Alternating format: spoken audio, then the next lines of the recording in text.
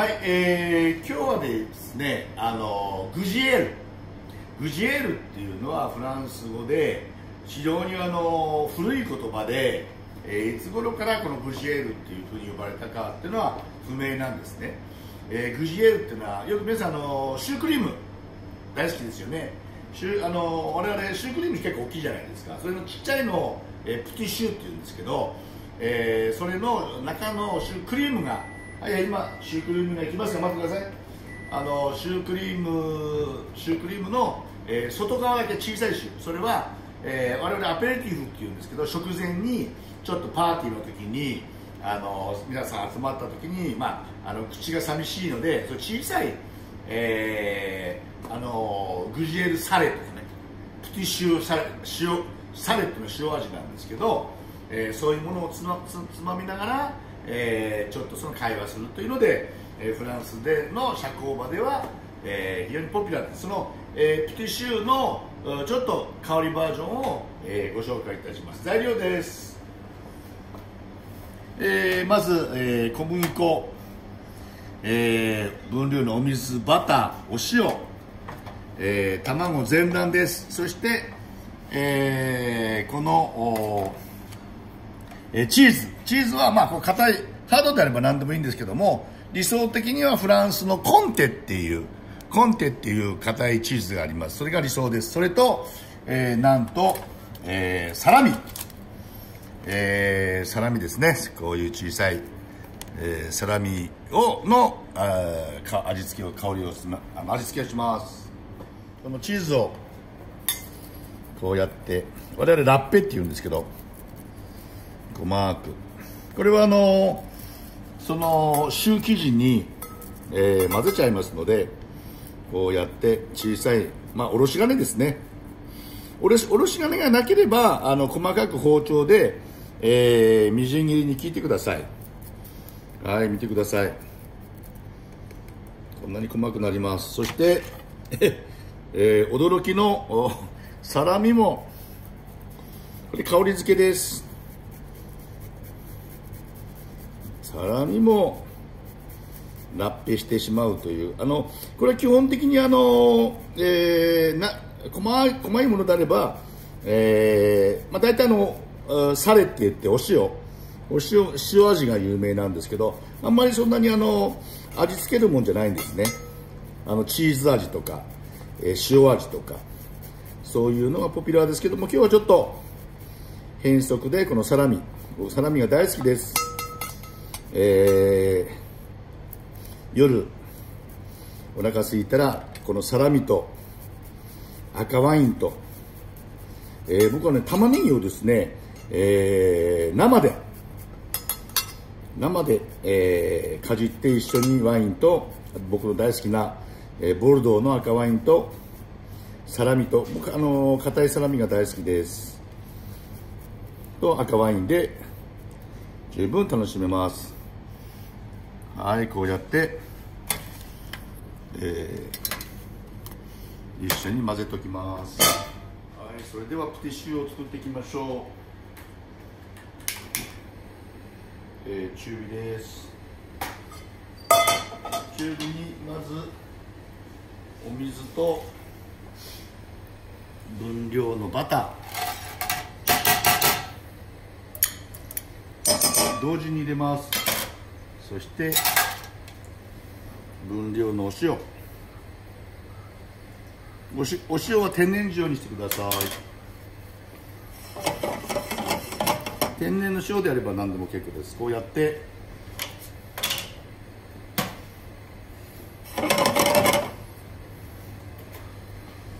えー、ゆっくり、えー、溶かしてる間に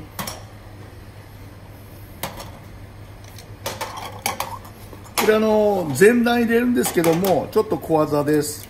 卵白とえー、本来はこれ一緒に入れちゃうんですけどもこうやって小技を使います、えー、卵白と別々にしておいてください。はいバターが溶けました。そしたら、えー、火を止めてよろしいですか？皆さん。火を止めてえー、小麦粉を一気に入れます。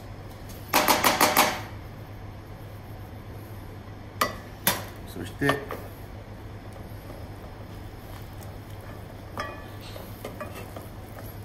まずゆっくり練ってそして素早く混ぜます。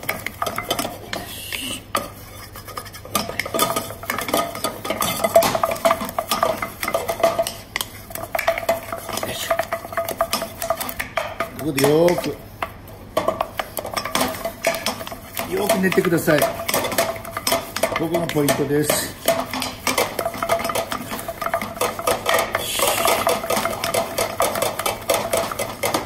よく練るとコシが出ますので。はい。よく練ったら本当は全卵を入れるんですけどまず、えー、黄色身えー清美じゃないです。清美は僕の名前です、えー、黄色みを。よ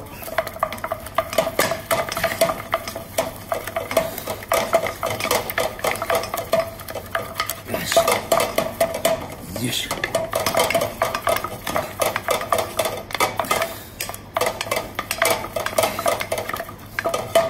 く練ります。混じったら、えー、清美あごめんなさい黄色みです。卵黄を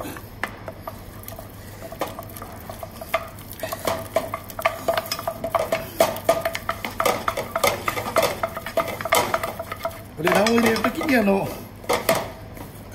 こういうあの人肌でないと卵黄がダマになってしまいますので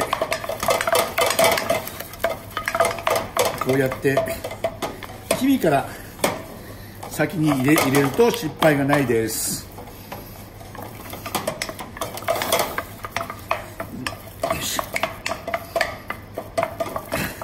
そして最後に卵白を入れます。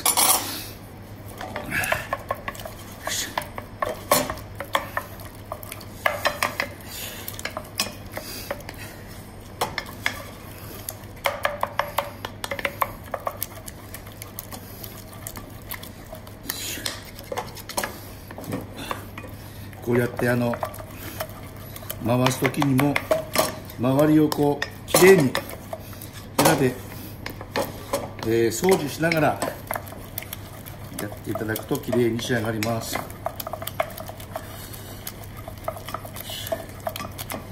結構力仕事です。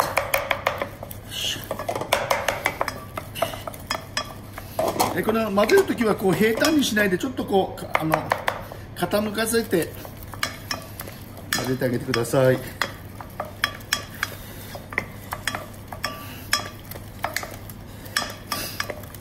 これが今馴染んできましたらトロトロになります。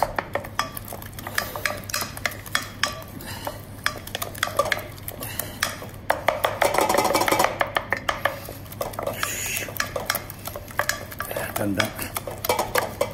はいだんだん馴染んできました。このシュー作る時は非常にこうやってはいだんだん馴染んできまいりましたよ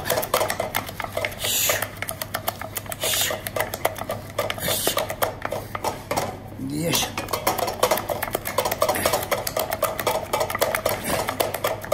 よいしょよいしょ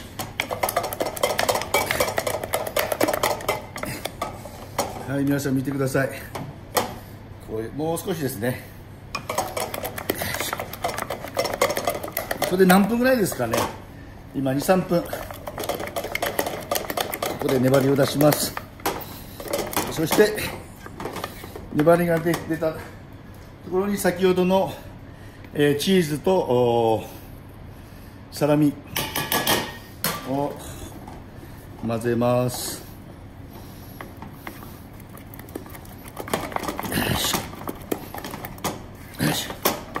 これはあの本来はサラミを入れるパターンはあんまり少ないです。大体チーズと塩の味。でもサラミを入れると、えー、ワインの、えー、おつまみになるので。よ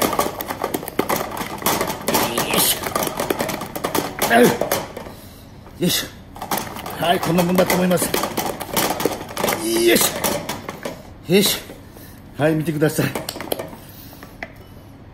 はい、はい、いい感じですね。こういう感じです。とろっと。はいこれを絞ります。これも、えー、うちのスタッフが100均で買ってきて買ってきたものです。よいしょ。よいしょ。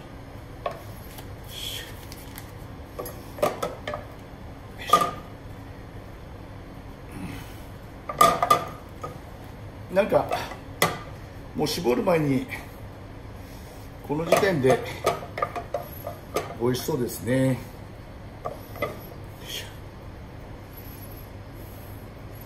はい。それでは第1回目。でこれはあのこうやって絞ったらあの中あの空洞ですからちょっと出して出していただいてぐっとぐっと巻いてください。そしてこれ非常にくっつきやすいので動かないように6箇所ぐらい。に、えー、そうすると滑りづらいです。よいしょ。よいしょ。よいしょ。よいしょ。よいしょ。よいしょ。よいしょ。こうやってくるっと回して最後シュッとひねってください。よいしょ。おっと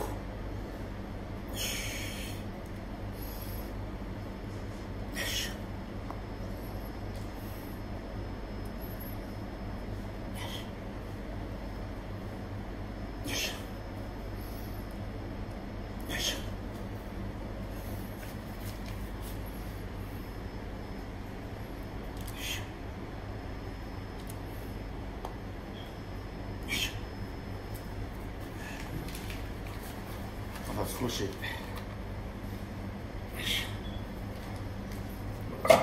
残ってますのでもったいないので全部絞っちゃいます。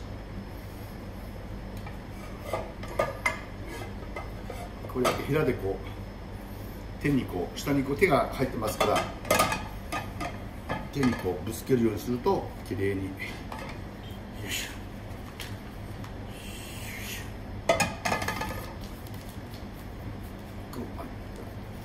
下側のあの空洞になってますのでそしてぐるっと回して、えー、隙間のところにちょっと小さくします隙間のところ。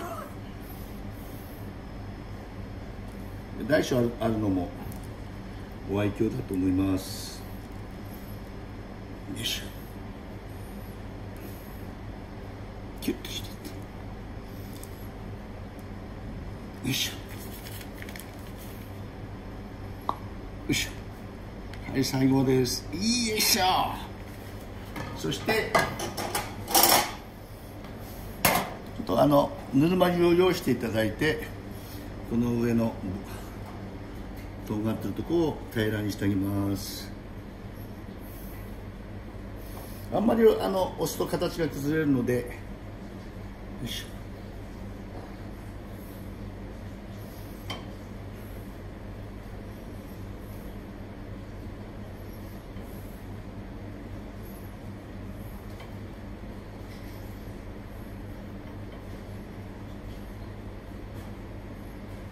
はい。はい、OK です。これを、これを180度で、えー、20分から25分焼き上げます、えー、180度で20分なんですがちょっと気持ちちっちゃいので、えー、ちょっとあのー、15分ぐらいで一度様子を見ます。はいよろしいでしょうか。それでは180度で20分。ゴー！ゴー！ゴー大丈夫かな？はい行きます。はいえー、180度で、えーえー、180度で20分。さあどうでしょうか？プティシュー。じゃじゃじゃんおお見てください。さっきあの小さく切ったやつと、まあ、大きいやつと。完全に完全に焼き切っております。はいいい感じです。これあのあの注意してほしいのはきちっとこうやって焼き切らないとあの出した時にしばーっとししぼんでしまいますのでこれぐらいカリッと焼き上がってると大丈夫です。大きいのからこうやってあのパーティーなんかはこういうあのこういうものに入れてでみんなにこう、えー、持ち回りって言ってあのこうどうですか？どうですか？って配るんですね。はい冬なのに今勢い良かったですね氷、えー、こんな寒いのにも氷たくさんできるんですね。はいこういう感じで素敵になりました。はい見てください。こうやって。可愛い。これはあのパーティーなんかの時はボーイさんがこうやってこう「はいいかがですか?」何度も何度もいかがですか？っていうふうに配って。基本的にはこれはあの手で、えー、つまんで。これちょっとまだあのあたぬる温かいですけど、えーまあ、こういうまあ、ぬる温かいですけど完全にこうちょっと冷やした方があの持ちもいいので。でもちょっとぬるいのも、えー、素敵です。うん。まもうなんかなんて言うんでしょう。本当にあの全くあのあの邪魔しないというかでもまあちょっとあの塩味を感じます。そして、えー、チーズとあのまあ大体それぐらいなんですけど入れるのは。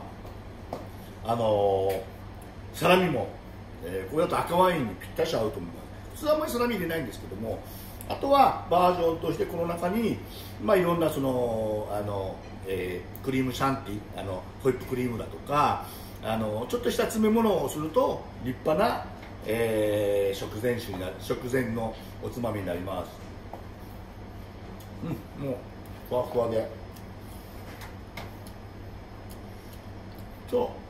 デリケートで。ですからこういうこれはあの食前に配るので、えこういう本当にこうふわっとしたそういう感じの出来合いが、えベストなんです。今日は、えシャンパンを合わせてみました。これはシャンパン地方のドラピエって言います。ドラピエってあのフランスの昔の大統領シャルル・ド・ゴール。あのパリに行くと、えー、飛行場もありますよね。シャルシャルル・ド・ゴール。あの皆さんご存知ですか？あのシャルル・ドゥ・ゴール。で、えー、何々ドとつくとあの、えー、その方は貴族なんです。でですから我々はあのドがついてる人はあこの人は貴族なんだと。いうふうに分かるんですですからシャルル・ドゥ・ド・ゴール。彼も、えー、貴族で彼が大好きだった、えー、シャンパンです。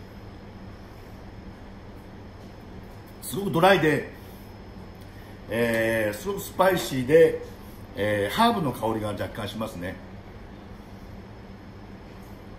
あと洋梨の香りも若干いたします。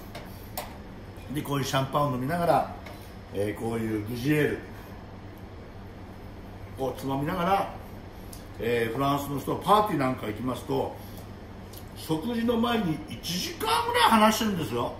もう僕ら北海道の田舎者ですからもう1時間なんか持たないです。もう早く、えー、食事をしたいのに彼らは本当にシャンパンとこういうグジエールで1時間以上何を喋ってるんですかね。本当によく分かりませんけども。